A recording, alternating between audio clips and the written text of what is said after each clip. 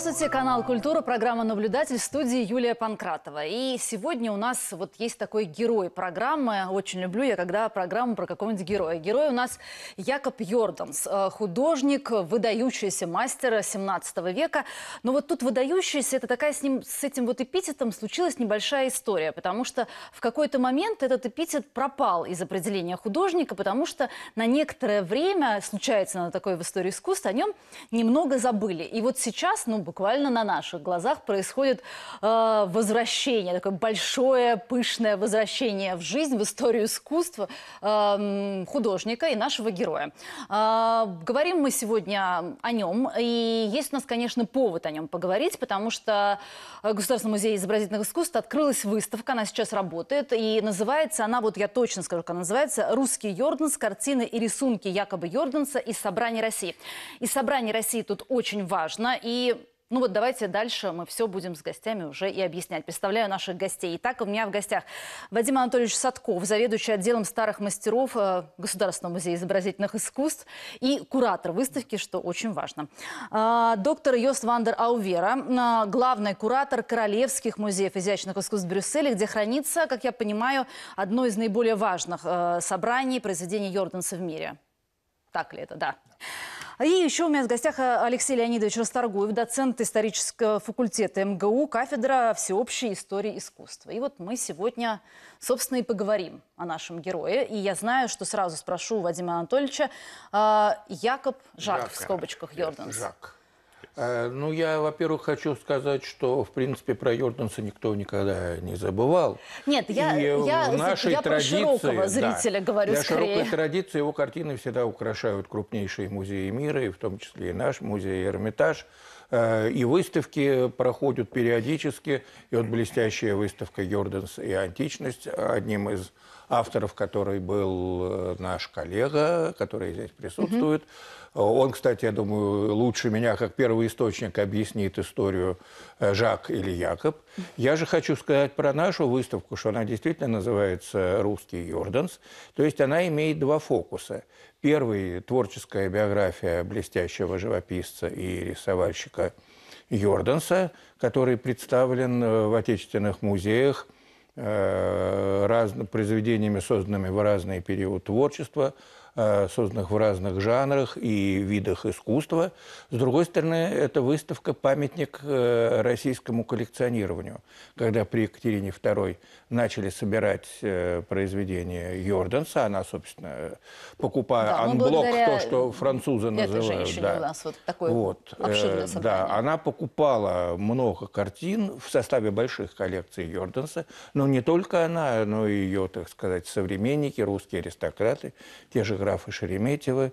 И далее эта история продолжается в XIX веке. Э, Графы Мусины, Пушкины покупают картину Йорданса, которая некогда принадлежала Рубенсу. Йорданс просто ему подарил такую картину. Э, Вплоть до последних поступлений, можно сказать, недавних, два года назад Эрмитаж в частной коллекции в Астрахане, значит, там не только арбузы и осетры, но и Йорданса, купил С превосходный... там как раз уже... Да, купил превосходный рисунок Йорданса, и он также э, показан на нашей выставке. Плюс э, мы привлекли, ну, когда вот выставка «Русский Йорданс», она предполагает, что это все-таки не только Эрмитаж и Пушкинский музей, но и какие-то другие Да, региональные я знаю, что музеи, много да. региональных музеев Ну, участвуют. Четыре. Четыре, Нижний, ну. Нет, простите, три. Э, Нижний Новгород, Пермь. э, Пермь, Екатеринбург и четвертое э, Александра Невская лавра в Санкт-Петербурге, где тоже Да, вот э, я хотела относительно потом недавно было сделано этом открытие. поговорить, да. Сейчас или потом? Нет, чуть позже. Да, Сейчас да, давайте думаю, да, как-то поговорим скорее на общие темы и поговорим о том, почему, почему у нас все-таки такое. У нас, как я понимаю, у нас в России получается довольно ну, крупное да, собрание Йорданса. Ну, в общем-то, на уровне каких-то европейских музеев, хотя лучшие подборки Йорданса, безусловно, в Брюссельском Ну, тут музее, мы, я думаю. да, Да, на родине мы тут не про соревнования, но тем не менее. Да. Ну, у нас действительно очень качественная соб- подборка работ Йорданса в целом, которая может быть сопоставлена с крупнейшими, там, э, не с крупнее, а просто собраниями, скажем, музеев Франции, Германии, э, Испании. Все-таки вот этот момент, вы говорите, что да, я почему, собственно, говорила о том, что о нем забыли, ну, наверное, это действительно слишком какое-то тяжелое такое по отношению к Гернс, но есть ощущение, что, конечно, вот такой широкий зритель, да, больше, больше, ну, когда мы говорим об искусстве 17 века фламандском, все-таки больше думает, ну, например, о Рубенсе, вот, и что, фламандского да, Йорданс в тени немножко, в такой большой Ну, есть тени. Что он засвечивает обычно. Ну так триада, триада Рубенс, Йорданс, Ван Дайк. Йорданс у нас оказался то ли немножко в тени, или то ли немножко во втором плане, да. э, и Это действительно понятно, потому что колоссальная фигура Рубенса, она отбрасывает такую как бы благородную тень, и мы знаем прекрасно э, его политическую активность, его биографическую, так сказать, очень блистательную карьеру, да. И в этом смысле слова Йорданс проигрывал просто, наверное, по тому масштабу, что ну, нет такой, такой, такого могучего колорита, такой яркой индивидуальности сразу же, непосредственно. За ним не чувствовалось. Рубинс – это целая история, которая годится для бульварных романов, понимаете? Там же просто его, его действительно, жизнь его крутила в разных местах, и он был всегда на коне. А, Но э, здесь как раз э, не стоит забывать, что в какой-то момент Йорданс оказался главой этой художественной школы после смерти Рубинса и после смерти Ван Дейка. Да, они один за другим. В 40 да. первом Он году, да. как-то невольно оказался, или это все-таки вот Ну, происходит умерли по заслугам? Все умерли, да. да, Ван и по заслугам, действительно. Да. Но он оказался во главе, к нему поступали самые лучшие заказы в этой ситуации, поэтому... У него появляется мастерская, как большая, как у Рубенса, потому что нужно выполнять заказы и местные, и иностранные. И королевские, да, самые разные, королевские, да. да. Да. И английские, И в этот шведские. момент можем сказать, что никакой уже тени такой над ним нет, потому что уже и два лучших художника, другие уже в могиле. А он оказывается надолго, учитывая, что он долго прожил, надолго оказывается в середине художественных процессов целой большой школы. И еще ухитрился в зрелом возрасте перейти из католицизма в протестанство. Ну, вот это тоже очень важный момент, и я, наверное, тоже попросила бы вас потом его прокомментировать, причем важный, вот это сейчас для нашего понимания, может быть, что, ну, перешел и перешел, да, вот, а тогда, я думаю, это же очень серьезная история для человека того времени. С чем был связан этот переход, потому что я, например, этого не знала. Сначала, наверное, про Жак Якоб, Жак, а потом... это, же, э, это как-то тоже связано или нет? Нет, нет, это не связано абсолютно, но это, так сказать, такое вот одно из Давайте тогда начнем с имени. Well, uh, Jacques Jordaens was uh, Жак Йорданс был крещен именно как Жак Йорданс. И нужно сказать, что священник, который записывал его имя, когда он услышал его имя, он записал Жак Йорданс. И Йорданс подписывал свои работы именно так. И это стало фламандским вариантом 19th century. имени Якоб в XIX веке, когда фламандская часть Бельгии добивалась уважения языка. Йорданеса воспри... считали, but считали типичным, веселым фламандским художником, основываясь на популярности его тем. Но это не совсем правильно. Йорданс вышел из тени Рубенса и Ван Дейка двумя способами. То, что сказали мои коллеги, 1640 абсолютно верно. После смерти 1641, Рубенса в 40-м и Ван Дейка в much 41 And году, then for 30 years and more, на he has to 30 лет, даже больше, чем на for too 30 many лет, Йорданс работал очень много для очень большого количества заказчиков. И его. Его стиль работы несколько изменился work к концу жизни, потому что ему приходилось делать очень-очень много работ. И and, поэтому его uh, поздние работы не такие яркие, такие интересные. and that they call this genre. Его 19th работы самые известные «Король пьет» и «Старики поют, молодые играют». И существует такое впечатление, что Йорданс э, создает работы как uh, фотографии, пишет фотографические, практически uh, э, реалистские работы. И как э, уже мои коллеги говорили, э, Леопольд Вильхельм, известный богатый, очень богатый э, собиратель работ фламандской живописи, он купил его работы. И э, некоторые работы несколько э, слишком say, "This реалистичные, где человеку, если человека тошнит или ребенок э, испражняется, это несколько нетипичные для того периода, конечно, работы. Рубенс, Ван Дейк и Йорданс, они придерживались других теорий, не таких теорий, которых придерживаемся мы. Тогда была очень популярна идея Аристотеля. Рубенс хотел показывать людей лучше, чем они есть на самом деле. Ван Дейк очень был популярным портретистом, но если э, вы не были из какой-то известной семьи, то, тем не менее, если ваша работа была написана Ван. Дейком, то вы становились ближе к этим, к этим людям, поскольку он писал людей choosing так to же represent лучше несколько, чем они есть. А вот Brouwer. Йорданс, он как раз писал людей такими, какие они them есть, не лучше и не хуже, чем они есть. Его работы гораздо ближе к истине, они не приукрашены, они не приукрашивают человека. И во времена просвещения, во времена просвещения это 18th считалось uh, не совсем верно. И э, Ван Дейк, он работал в англосаксонском мире.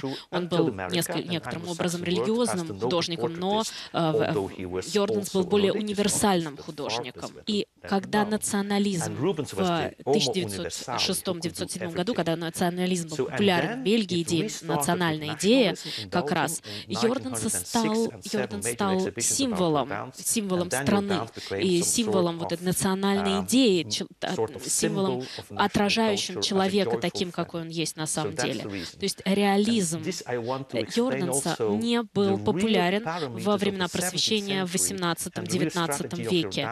Но. На выставках In the 18th сегодня, и в том числе на выставке в Москве, мы действительно приближаемся к настоящему this не к тому э, мифу, который рисовали в nearer to the э, real 18-19 веке. Даже, я, я даже затрудняюсь что-либо уже добавить и вообще Нет, спросить. это очень замечательно здесь Да. из того, что сказал наш коллега. Это вот как раз что делают выставки, что делает 20 век по отношению к истории искусства. Потому что оказывается, что предыдущая жизнь этого художника в более ранних столетиях была, собственно, более или менее мифом, который эти сами столетия придумывали, потому что они хотели в этом зеркале видеть себя, то, что им интересно. А 20-21 век, будучи значительно более постмодернистским и значительно более в этом отношении пластичным по отношению к прошлому, он может заглянуть через голову 19 и 18 и опознать То то, что было в навязываем, 17 думаете, собственное я думаю, что в меньшей степени, чем предшествующие, потому что у нас нету, э, все-таки мы довольно в этом отношении другое время, у нас нету такой центрированной идеологии, и у нас нет центрированного вкуса. Мы значительно более полиморфны в этом отношении. Наши вкусы более разнообразны. Ну и плюс, конечно, историческая наука, и наука истории искусства, будучи довольно молодой наукой, поднимающейся примерно с середины XIX столетия, она обретает, сперва очень часто обретает какие-то оттенки своего времени, как, например, немецкая наука времени нацизма, да, или наша советская времени, соответственно, обязательных марксистских социологических студий. Но сейчас это время пройдено, и мы оказываемся на более свободном поле, тем более, что и техника создания экспозиции выставки, и запросы к выставке очень изменились. Это все очень выросло. Это не просто подбор картинок, которые Нет, мы можем взять из музея. Это аналитический момент, историю, да, глубокий, всех, хороший. да, и да. погрузиться в это, Каждая да. выставка, вообще история искусства, она выставками очень сильно продвигается. Потому что это аккумуляция вещей, это сбор их вместе. И это они по-новому смотрятся друг рядом с другом. Это всегда в области истории искусства невозможно сопоставить только фотографии. Пока ты не увидишь вещи на стене, ты ничего не поймешь на самом деле. И эта экспозиция, она мне в этом отношении очень нравится, потому что она позволяет увидеть совсем разные стороны, которые, может быть, для академической истории искусства не всегда одинаково интересны. Например, работа мастерской, работа мастера. Мы сопоставляем это дело. И это очень хорошо на Это замечательно показано. Понимаете, мы видим, это ученик взял у Йорданса, а вот это он взять не смог, у него не получилось. У него не такой интересный колорит, у него не такой яркий, сильный мазок, он не так лепит форму. Это можно увидеть только рядом. Если вы положите эти две фотографии в книжке, у вас сработает ощущение, что они находятся в каком-то общем поле, но реальную разницу между ними вы не почувствуете. Это можно увидеть только там. Вот я Только преподаю в при- университете, я поведу своих студентов именно по этому поводу. Вот давайте сравним. и обсудим, Проблема мастер-мастерская Мастер, в классическом искусстве это идеальный пример. да. Идеальный пример, замечательный совершенно. О- Очень удобный для того, чтобы объяснить. Понимаете, моя работа как преподавателя – объяснить. И Я должен вот это вот материал, на котором объяснять одно удовольствие. Я хотела спро- спросить, а э, вот мы сейчас говорим мастер-мастерская, говорим о выставке, а, говорим о там, ну, каком-то новом отношении к Йордансу. Связано ли это с тем, что происходит вот просто просто технически это новая атрибуция его работы. Это же м, тоже Безусловно. влияет. И эта выставка, она как раз демонстрирует несколько недавних открытий. Первое, как вот я говорю своим гостям, вишенка на торте, это картина из Екатеринбурга «Миллиагра Аталанта», которая была передана э, в этот музей Екатеринбургский из Эрмитажа после окончания Второй мировой войны, как старая копия, ну, в лучшем случае, мастерская Йорданса.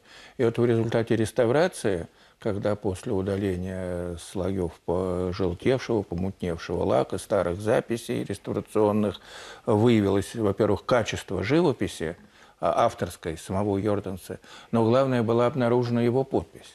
И если раньше считалось, что это картина копия э, с оригинала, хранящегося в музее в Антверпене, то теперь мы их рассматриваем как два полноценных, э, в общем-то, стоящих друг друга варианта. Другой случай – это открытие бельгийским коллегой, э, очень известным специалистом, моим старым другом Арнол Балисом из Института Рубинианума открытие картины мастерской Йорданса, но самой большой по размерам на выставке – это «Оплакивание Христа» из собора Александра Невской лавры.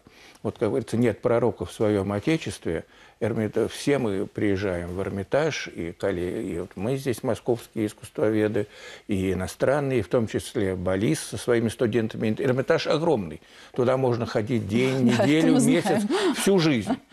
И, но никому не придет в голову сделать шаг вправо, шаг влево. А так случилось, что профессор Балис со своей группой студентов жил в гостинице напротив Александра Невского лавры. Он туда пошел посмотреть. То есть вы сейчас утра. хотите сказать, что вот это, опять вот такой Он типичный открыл случай, картину, да? он, от- Просто... он открыл, он просто зашел в собор посмотреть на православное богослужение, а увидел картину Йорданса. О чем, конечно, сразу сообщил эрмитажным коллегам, которые, ну, не ходят в собор Александра Невской лавры. Э, Вот. Это еще одно открытие.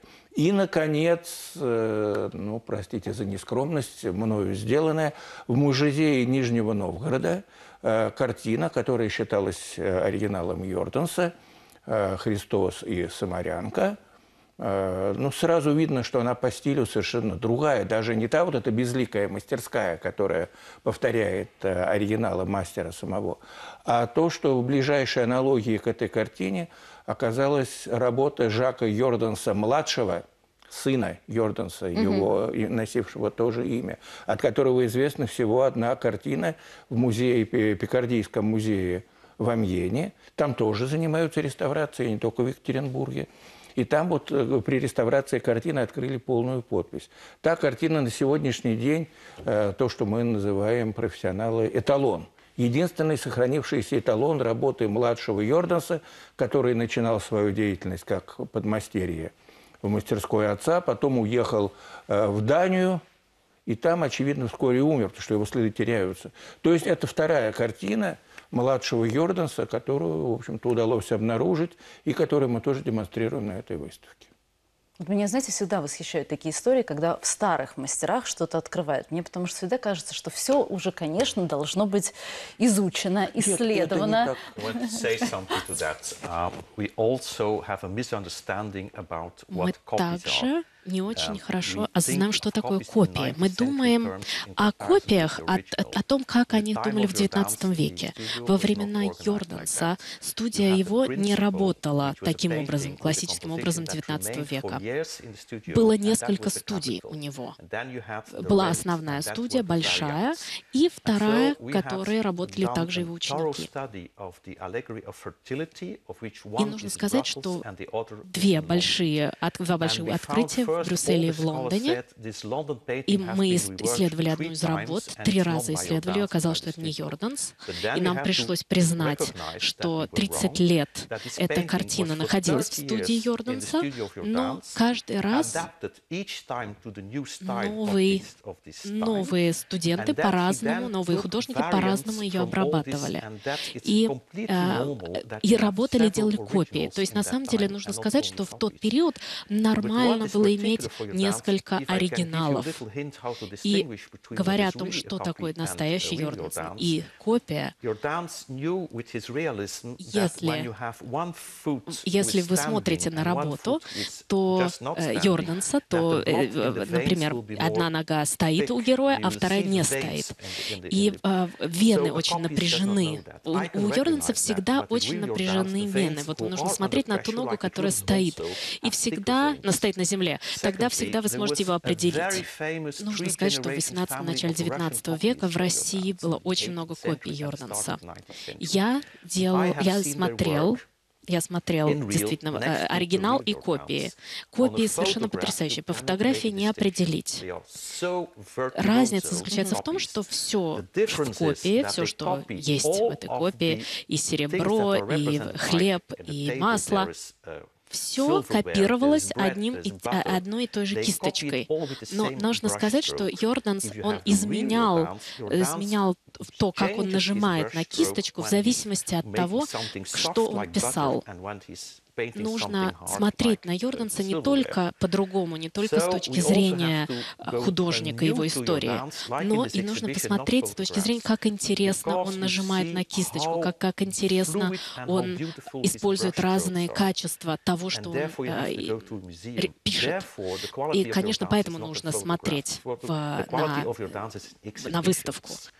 Это очень Вообще, старая традиция. Я занимаюсь средневековым искусством. Это на самом деле традиция мастерской слушаю, это как 15-16 будто такой- века. как Это- роман практически. Это не 17 век это придумал. Это, Это исходит из раньше, очень да, большой да. глубины. Понимаете, если есть, например, Петрус Кристус, и есть Мадонна на сухом дереве, есть вещи, которые... Вот есть две версии, они обе одинаково замечательные. Сказать, в какой из них он принимал большее участие, в какой меньше, нельзя, потому что это все еще традиция старых, позднесредневековых мастерских, где существует ответственность мастерской как таковой. Они, в хорошем смысле слова, ремесленники, артизан.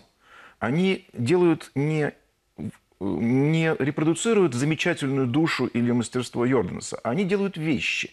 Как вот, ну, грубо говоря, как Ну, они сапожники. они делают предметы. вещи, при этом... да. Конечно. И они своей делают- подписью и ставят свои подписи, заверяют. А возьмите мастерскую товарный. Кранах. Вот типичная Да. ситуация, когда у нас колоссальное количество памятников размыто по очень предположительной атрибуции у позднего Кранаха. Вот что это? Мастер, мастер и коллабораторий, то есть какой-то вот участник, совсем не мастер, а пройдено мастером, Потому что совсем не пройдено подтверждает только качество товара. Да, и там совсем стоит и вот крылатый дракончик, да. его автограф, потому что это сделано здесь. Это наш, вот наш копирайт, это то, что это здесь сделано. А не выражение, как действительно коллега правильно сказал, да, да, это трейдмарк, конечно. Это не, это не выражение личности. Это совершенно правильно коллега связал с авангардом. Действительно, когда Пикассо делает свою картину, это про выражение одного человека. Это он сам. Этот, этот современный подход нельзя распространить туда. И, конечно, еще раз э, не могу не восхититься тем, насколько это делается на выставке значительно более ясно, видно, конкретизируется просто. Ты совершенно по-другому это ощущаешь. Как вы себя сохраняете, чтобы не стать совсем формалистом, когда вы здесь видите то? Мне, мне было бы, например, Я трудно. своим студентам всегда говорю, что живопись трехмерная. Что никакая репродукция, никакой цифровой имидж не передает Разумеется, потому обаяние. что вот мы говорили о мазке. Высота Да. мазка. Не только ширина мазка. Например, ширина. Потом у мазка есть такая характеристика, которая доступна мастеру и недоступна компиисту. Скорость. С какой скоростью он наносится, каким движением он наносится. Вот э, коллега говорил относительно того, что копиист не может почувствовать фактуру, да, вот живопись. Но скорость тем более, понимаете, он не может это сделать, он не мастер. Он не может это сделать так же быстро. Он аккуратненько сымитирует эту вещь, но уйдет та скорость почерка, ну, предположим, скажем, довольно наивную вещь, я скажу, предположим, у вас, я не знаю, вы, вы получаете письмо от любимой, оно написано на машинке или оно написано почерком живым, это разница. Да? Потому что если написано почерком, ты видишь скорость, ты видишь эмоцию, ты видишь движение. И вот это все, конечно, в Москве мастера все вместе. Это замечательное определение, я буду им пользоваться. Трехмерное искусство живописи, правда? Возьмите даже самые лучшие сайты, на которых, как в Лондонской национальной галерее, возможно колоссальное увеличение. И, но тем не менее это плоскость. Ты не видишь высоты мазка. Ты не видишь. So, uh, Настоящий Йорданс еще был очень спонтанным. А uh, действительно, копиисты, они копируют очень по-школьному.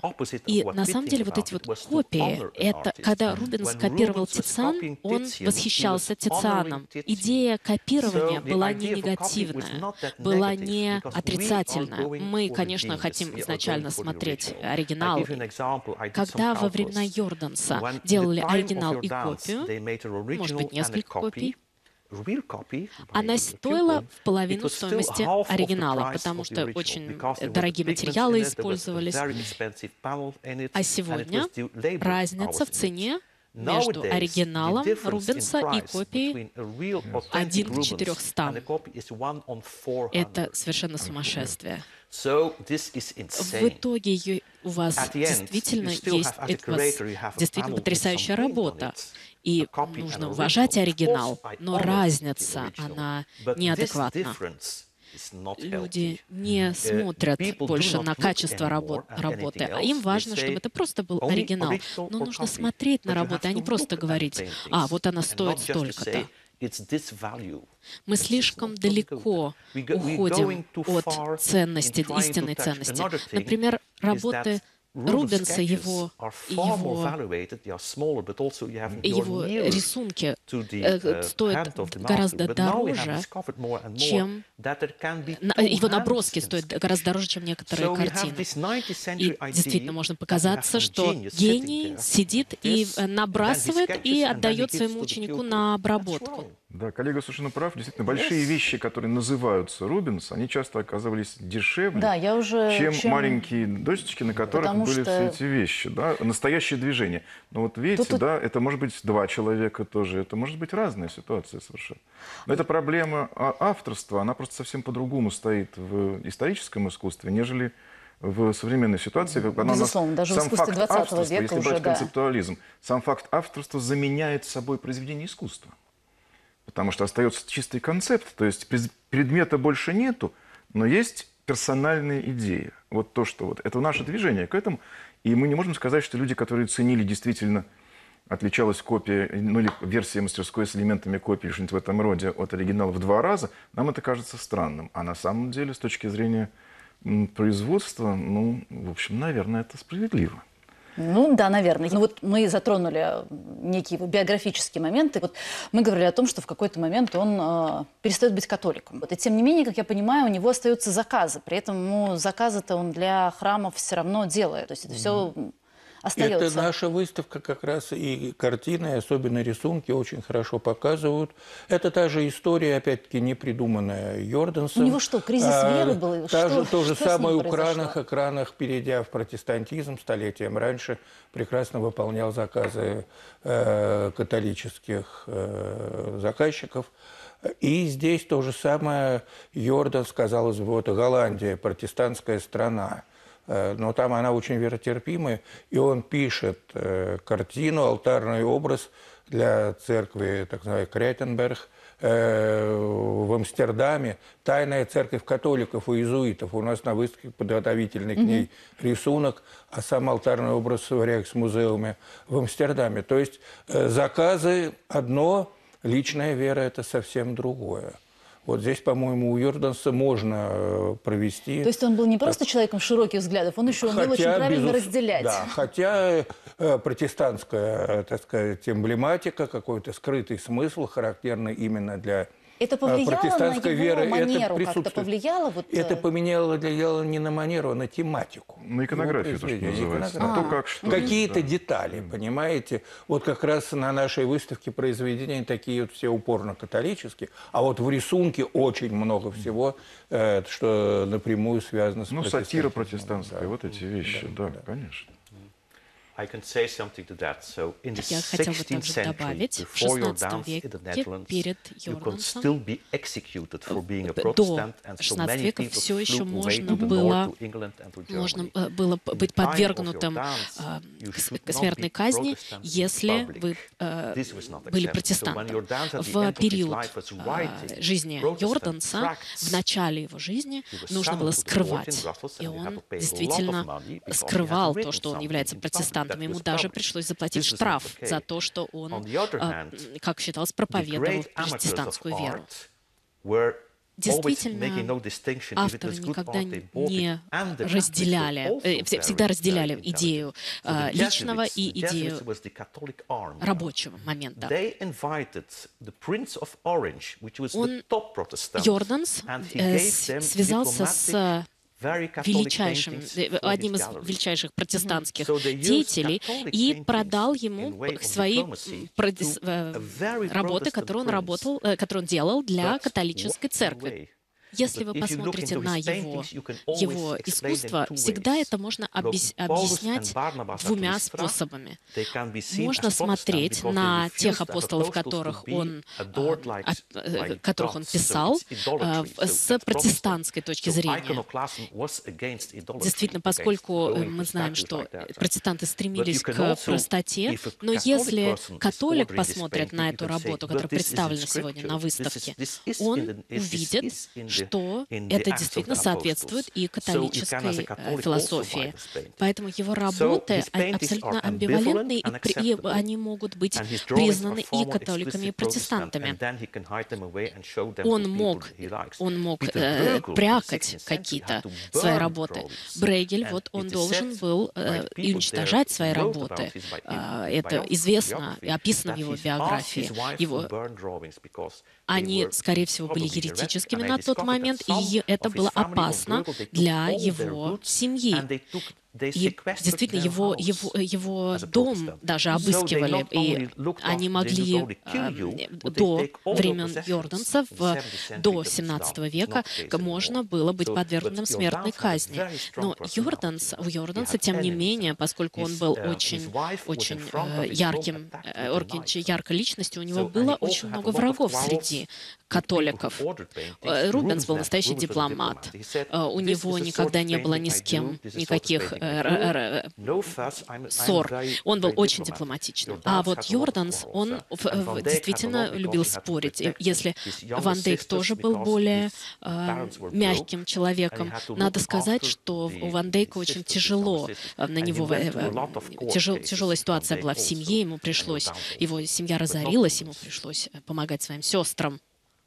Да. Настоящая жизнь всегда богаче, Богаче, чем, можно ну, себе представить. да. наше представление И о вот нем. обратите также внимание, что вот когда Йорданс умирает, его хоронят на протестантском кладбище, но это не в Антверпене, в Антверпене нет такового. Вот Рубенса, как католика, похоронили недалеко от дома. А Йорданс хоронят на протестантском кладбище, ну это в нескольких десятках километров от Антверпена, но уже на территории Голландии. И там граница, фактически, вот границу переступили, и там уже это кладбище. Тоже показательный момент его биографии. The, the cemetery is public. So if you are saying yourself publicly, even after Если your вы лично, даже Protestant, после, then после смерти известно, известно, что вы протестант, тогда, 10 kilometers если это узнается даже после смерти, нельзя в Голландии. Нужно, Да, нужно и ну даже прах же может быть конечно перенесен. Поэтому он был изначально но в Голландии Он в Голландии похоронен. очень часто бывал, вот о чем говорилось, выполнял заказы Амалии Фан Соумс. Мы затронули сейчас еще одну очень хорошую тему, которая по неизбежности здесь всплыла. Это всегда преимущество выставки, когда на ней рядом не только живопись, но и рисунок. Да, Да, И у нас прекрасная подборка. рисунки. Я вот Богатство хотела, хотела рисовальной сказать, что я как раз была впечатлена совершенно. очень именно рисунками. Как раз Вот здесь мне- еще отыскивается то, что, э, собственно, не всегда сразу можно без них понять. Это путь становления замысла, постепенная его реализация. А самое главное, что ты видишь мастера в совершенно разных техниках. Одно дело масло, а другое дело вот эти вот рисунки. То есть ты больше понимаешь его самого, как, потому что разница между двумя техниками не мешает ему оставаться самим собой. Да? Он вот оказывается, тем более, что поскольку он писал картоны для ковров, то эта техника и рисовальная была У близка нас тут вполне. специальный раздел выделен. Да, и это, конечно, производит сильнейшее впечатление, потому что ты можешь буквально перейти от моделировки формы в рисунке к моделировке формы в живописи, увидеть рядом, как это все происходит. Тем более, что у него, э, вообще-то говоря, вот эта вот его специфическая свежесть, яркость. И э, чувство цвета. да, чувство у него в цвета. рисунке замечательно совершенно. Он человек импульсивный, и у него как бы отдача от быстрого контакта с воображением, с композицией, она очень сильна. У него это очень хорошо получается. Он, так сказать, он, с него считывается вот то, что он хочет придумать, очень хорошо, понимаете?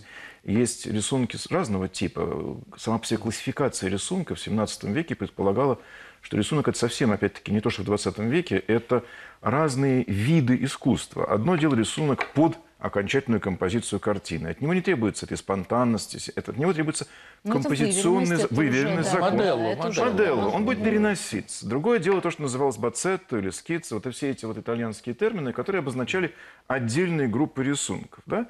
И лишь некоторые из них могут носить на себе характер вот этой вот мгновенного Ну, то есть контакта. это такая спонтанность, когда Да, тебе пришло, и спонтанность, ты да. быстро это Да. вот... С другой э, стороны, конечно, сама по себе ситуация с рисунками, особенно ввиду протестантизма его, она дает нам значительно более широкий диапазон тематический и значительно более яркий. То есть видно, он же не может все реализовать в больших И холстах. там, извини, Алексей, и там есть э, надписи его собственной рукой, где цитаты из протестантских Он что-то же объясняет. Это э, какой-то там, ну, и его, Завета. Довольно его- жесткий, да, кстати, да. его какой-то такой шифр, не шифр, я не знаю. То есть он, он же расшифровывает какие-то вещи, а некоторые оставляет, мне кажется, закрытыми, нет? Ну, специально прячет, мы только что слышали, он, когда можно амбивалентно понять картину и так, и сяк. И Она сяк, будет да, хороша да, и да. тем, и другим, да. And also, it's something very important. So Также Rubens еще and Van важный Dyck мо- were момент. trained Рубенс in и oil Ван Дейк, painting.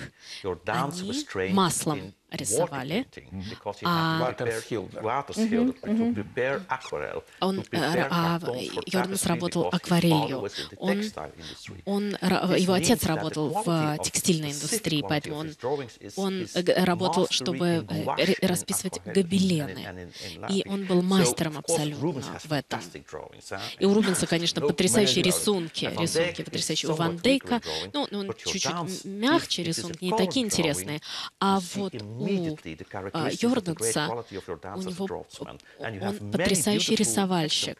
И очень много интересных примеров его работ, особенно сильных работ, рисунков, которые тогда казались не такими важными. И, может быть, даже сильнее, чем у Ван Дейка и Рубенса. Но для. Йорданса он, он работал так с самого начала, как пианист, который 10 начинает, э, начинает э, играть э, с трех лет, а потом переходит the на скрипку. Вот он начал с рисунков, он не начинал с. Very масла.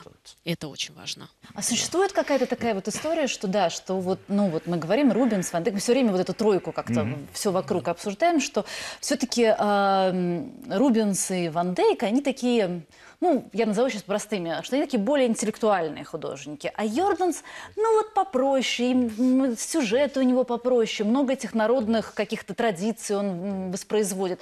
Или это Они все-таки довольно людьми- поверхностное отношение? Нет, они, в принципе, вы правы в том смысле, что и Рубенс, и Йорданс были людьми гораздо более образованными, чем Йорданс. Они были в Италии, да. Они знали итальянский, и французский, и древние языки. Я имею в виду прежде всего Рубенса. Йорданс, он не ездил э, в Италию, В Италию он, он рано был, да, женился. да. Он рано женился. Э, Ездили холостые, в основном, там женились. Итальянских жен привозили к себе. We, we cannot say that your dance is not intellectual. I made a whole exhibition Нет, about ну your нельзя сказать, что. Йорданс не такой интеллектуал. Я делал специальную выставку see. Прекрасная Йорданса.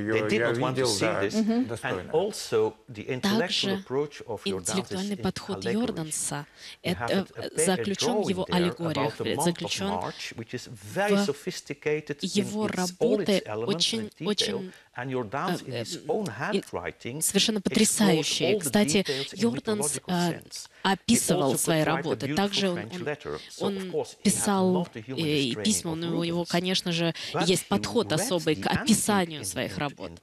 Но он, если, если мы смотрим на его описание, то он использовал также и древние языки. А, И мы видим в его работах не только франц- французский, внедрение французского, но и древние языки.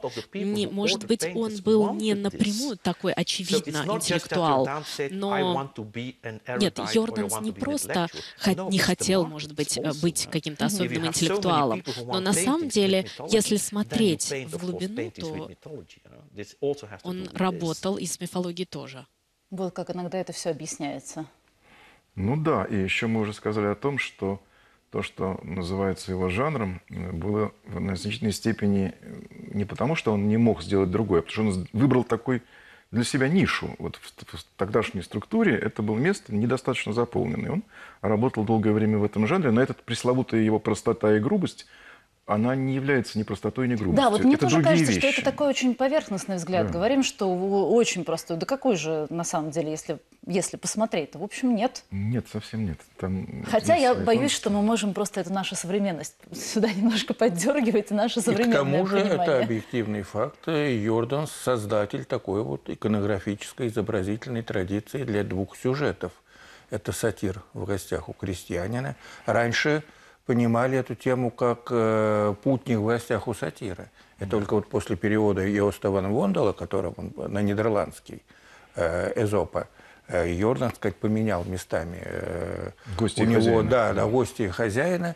У него И меняет стал отношение. крестьянином, да. Это первый. Все. И после этого эта тема получает широкое распространение и во фламандской живописи, и в голландской, переходит в Германию, даже в Италии мы встречаем отдельные образцы. И другой сюжет, естественно, «Король пьет», «Бобовый король».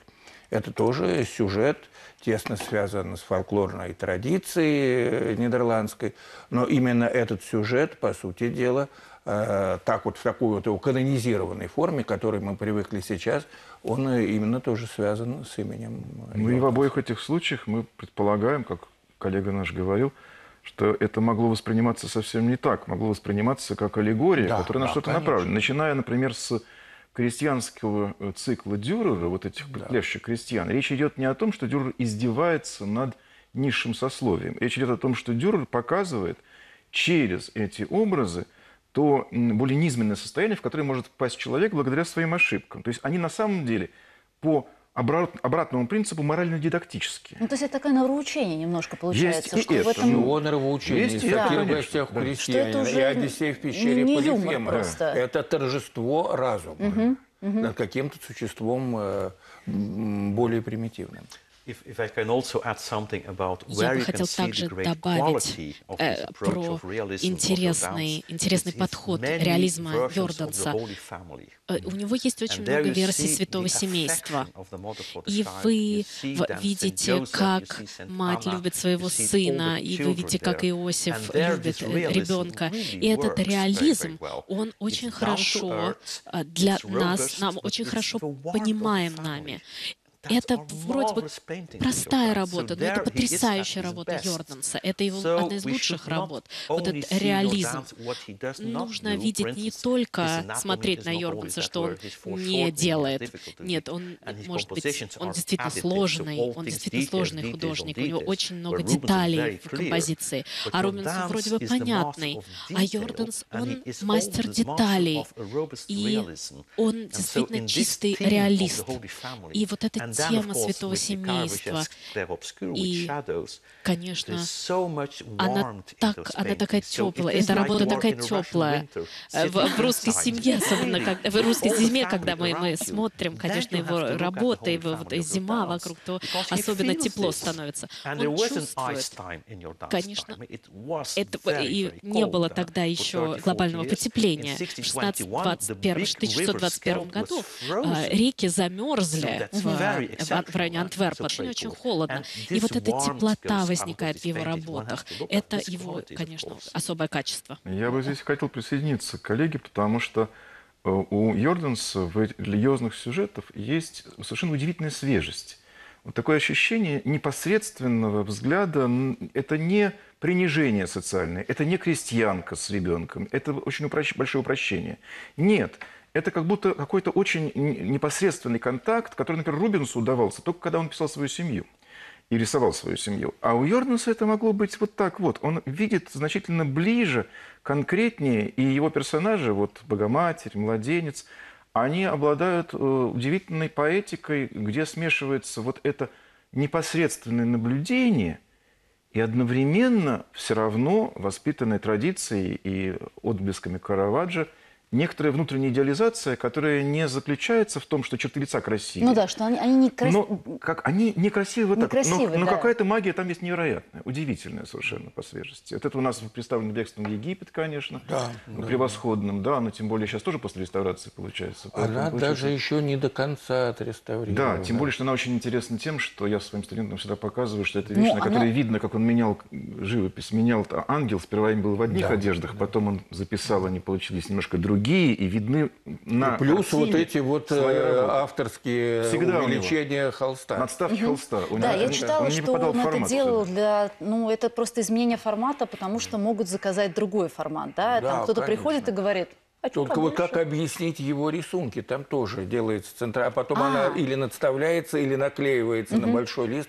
Наверное, это просто ментальность, которая сложилась, э, когда художник, вот уже говорилось об этом, Э, учился на живописца э, обоев. Да, нет, угу. не картонов, да, не только, и... но и он делал еще обои, которые были заменителями шпалер. Мне всегда кажется, что у него такой внутренний напор, что ему не хватает формата. Угу. И он начинает как бы выходить за границу. Вот, тем более, что его пластика могучая и так далее. И ему а вот нужно бегство Египта тоже надставленное, получается, да? Надставленная работа. Сатир в гостях у крестьянина. Тоже. Тоже. Вот. Потом... Очень важная причина нужно отметить. Нужно понимать, понимать, как, как э, правила декора 17 века. Были очень строгие правила того, что вы могли делать и что вы не могли делать. Если, если есть дама, когда если дама, вы, вы с ней знакомитесь, вы не можете поцеловать ее руку на улице, а вот в доме можете. И вот также есть и, есть и э, правила э, художественные. Если э, есть, э, э, заказывается работа, например, испанский премьер-министр заказал работу, и, он хотел, чтобы он был написан во всю высоту. И и это было гораздо более престижно. И поэтому, когда Йорман сделает, Йордан сделает свои работы больше, он свои работы делает более важными, своих героев более важными. Важно было быть написанным в полный рост в тот период. Я, кстати, писал об этом статью, что очень важно, э, очень важно было, э, э, чтобы измер... было измерить героя героя своей картины и рисовалась фактически в полный рост. Также в римские времена очень важно было, чтобы в полный рост был представлен император в древние времена. И чем больше работа, тем более важными становятся его герои. И если это портрет, то обязательно портрет должен быть в полный рост. И это принципиальный вопрос. Если мы говорим, э, если мы говорим сначала о некоторых его работах, изначально он их писал, в, это были бюсты, получается, а потом он добавлял э, размера холста, и тогда они становились э, работами в полный рост. Это был другой статус. Э, можно было, говоря про оригиналы и копии, как раз можно было сделать работу э, бюст для маленькой комнаты, а вот для большой комнаты обязательно необходима была работа в полный рост. Можно, вот поэтому заказывали два вида работ как раз для личных покоев и для официальных, э, э, для, э, официальных для мест, где происходят официальные приемы. Как раз, когда Екатерине II Великой предлагали работы Йорданса, они были разделены на две части.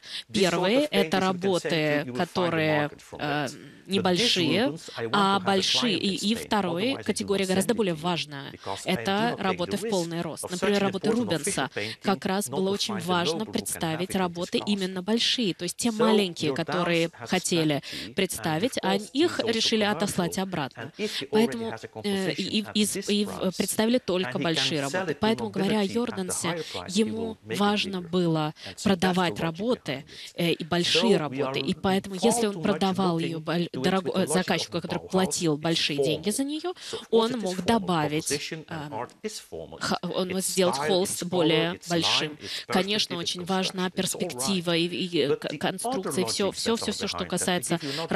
when техника. Rubens- Но when we важно distinguish также и, between важен Rubens, и which is his размер own э, hands, полотна. and which is by his pupils, Если мы говорим, опять же, про э, Рубенса, и что касается его работ и его студентов, и работы его учеников. Он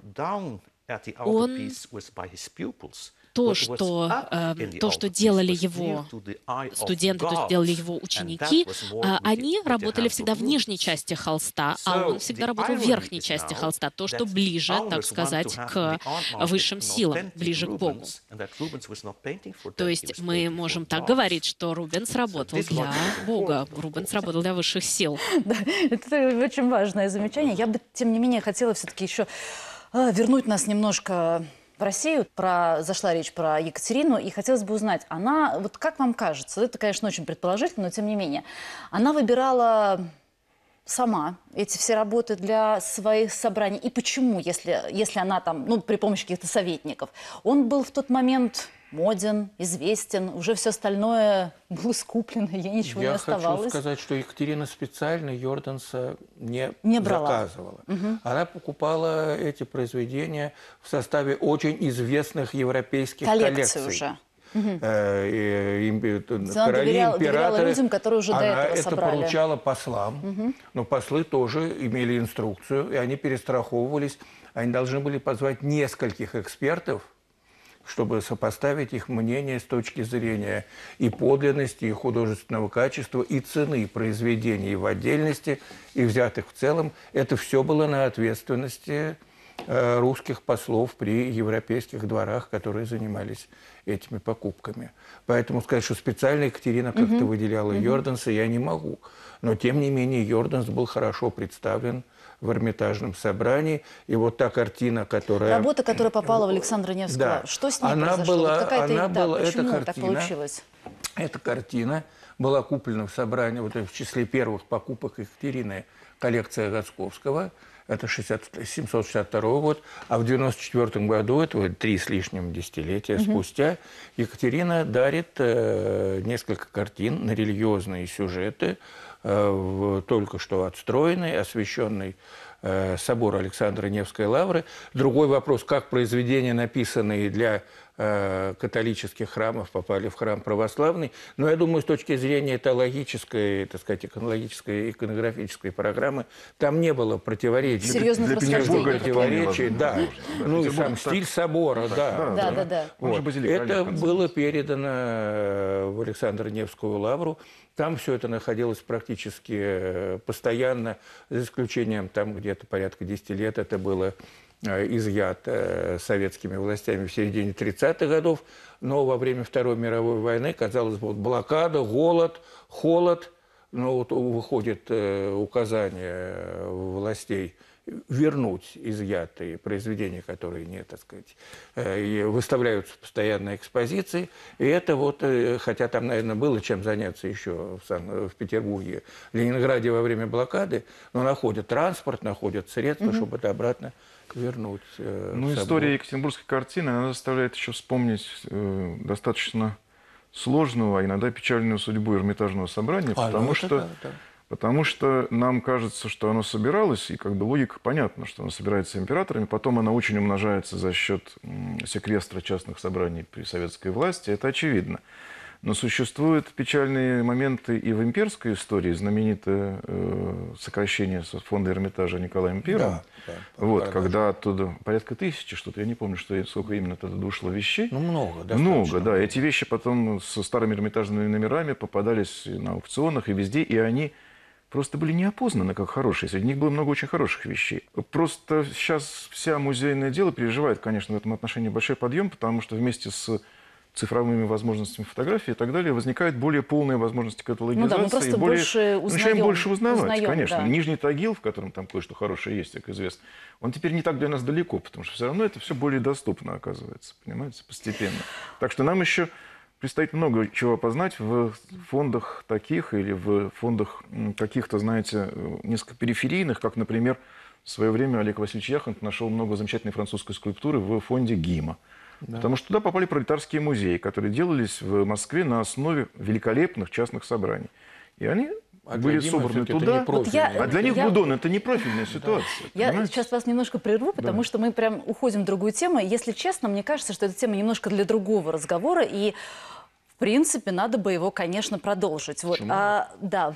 Я благодарю своих гостей, э, Вадима Садкова, э, доктора Ауверу и э, Алексея Расторгуева. Спасибо вам большое. С переводом нам сегодня помогала Александра Филипенко. Я вас очень прошу, э, выставка идет до конца ноября. Обязательно сходите сами на выставку. Мы уже говорили о трехмерном искусстве. Смотреть, смотреть работы нужно в оригиналах. До 30 ноября выставка. Спасибо за внимание. До встречи. Надеюсь, с вами до встречи еще раз. Спасибо большое.